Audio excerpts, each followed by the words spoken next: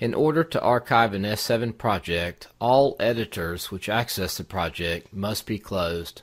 Select the File menu. Choose Archive. The path will default to the open project. If there's no project open, you'll have to browse to the one you want to archive. Select the folder you want to store the archive in and click Save. If you see the message Archive on multiple data media, the default is No. Click OK.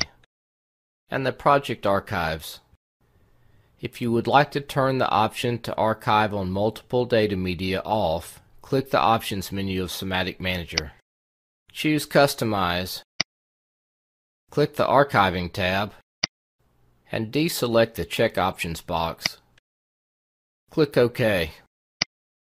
Let's archive again by choosing File, Archive, the open project is the default. Click OK.